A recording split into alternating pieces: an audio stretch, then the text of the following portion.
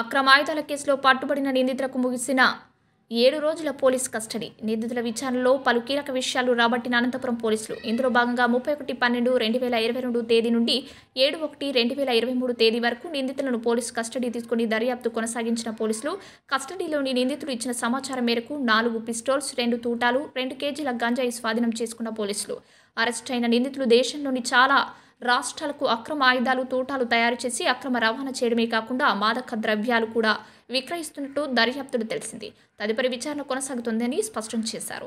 ప్రత్యేక బృందాలు రివార్డులు అనంతపురం జిల్లా పోలీసు అత్యంత చాకచక్యంగా అంతర్రాష్ట్ర ఆయుధాల ముఠా సభ్యుల అరెస్ట్ చేసి వారి వద్ద నుండి ఇరవై రెండు తుపాకులు తొంభై ఏడు తూటాలు ముప్పై ఒక కేజీల గంజాయి రెండు కార్లు స్వాధీనం చేసుకున్నందుకు ఆంధ్రప్రదేశ్ రాష్ట్ర director general of police Rajendranath Reddy అభినందించి ఇరవై ఐదు వేల రూపాయల నగదు రివార్డు ప్రకటించడం జరిగింది. వీరిని అరెస్ట్ చేయడంలో కీలక పాత్ర పోషించిన DSP B Srinivasulu Rayadurgam rural circle inspector Yugandhar RSI Rajasekhar Reddy D Hirehal SI Ramakrishna Reddy Bommanahal SI Shiva మరియు జిల్లా స్పెషల్ పార్టీ మరియు సిబ్బందిని జిల్లా ఎస్పీ అభినందించారు.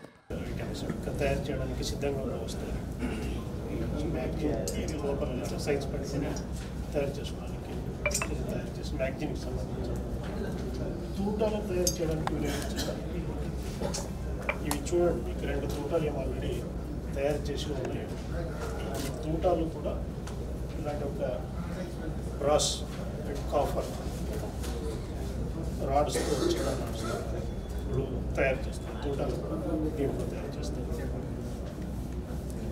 మిగతాంతా దానికి కట్ చేసుకోవడానికి తర్వాత పాలిష్ చేసి స్మూత్ చేయడానికి ఇవి బట్టీలు. సో ఇక్కడ బట్టి తెచ్చడానికి ఇది స్క్రూతో డ్రిల్లింగ్ మెషిన్. బ్యారల్ ఇక్కడ స్క్రూ ఏం వేసి ఈ స్క్రూ కానీ తర్వాత ఇక్కడ బ్యారల్ దీనికి తర్వాత బ్యారల్ డ్రిల్ చేయడం ఏదైనా ఇది drilling machine. Okay.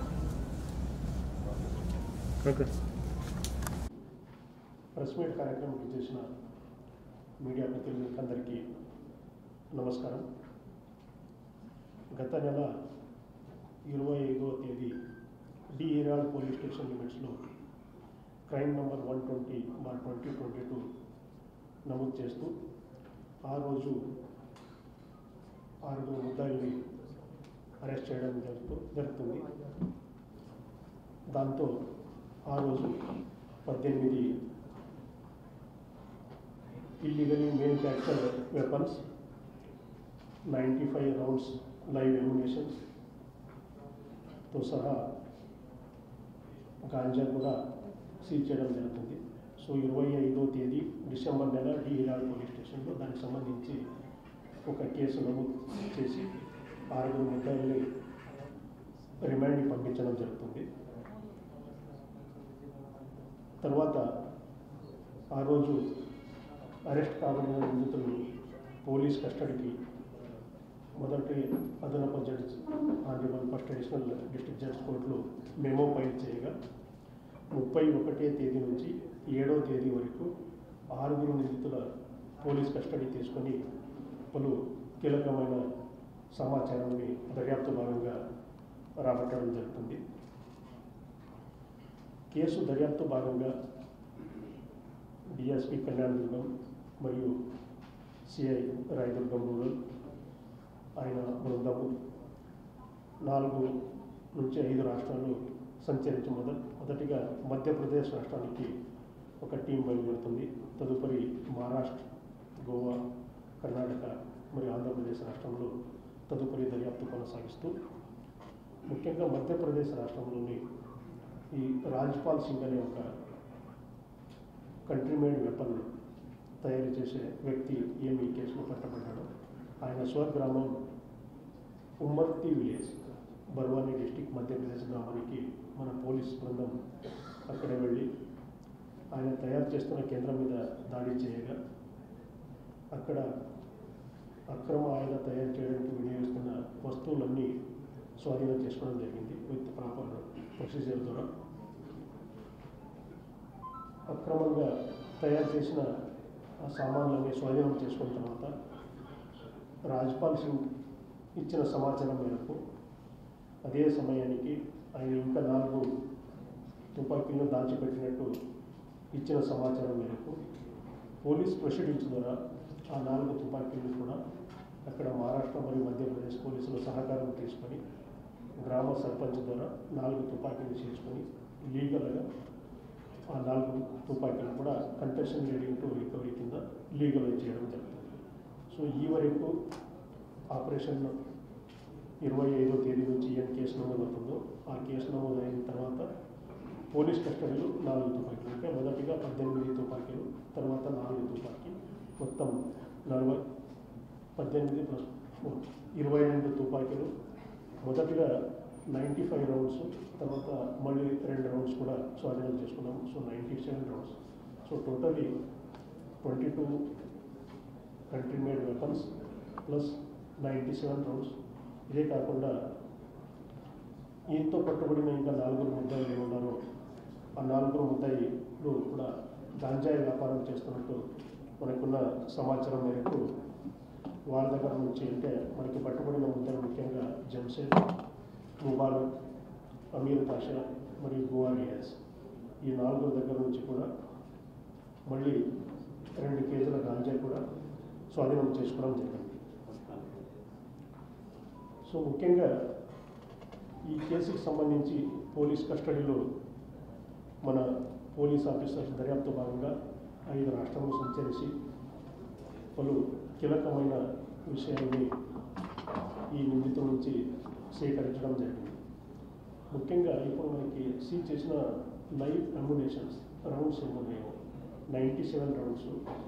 ఇవన్నీ రౌండ్స్ కూడా కిడికీ ఫ్యాక్టరీ ఉన్నటువంటి కిర్కి పుణే మహారాష్ట్రలో తయారైనట్టు మనకి రావడం సమాచారం ఎందుకంటే high explosive factory Kirkee Pune మహారాష్ట్రలో ఈ రౌండ్స్ తయారైనాయి తదుపరి రౌండ్స్ ఎటు వెళ్ళినాయి?